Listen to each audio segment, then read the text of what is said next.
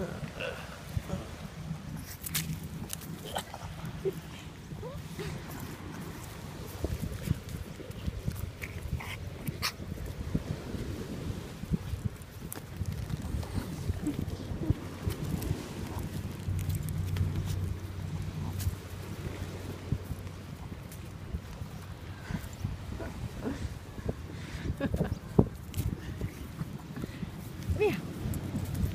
being so vicious.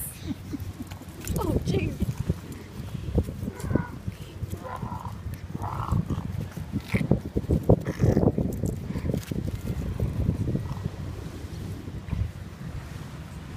And just enjoy the view here. Overcast today.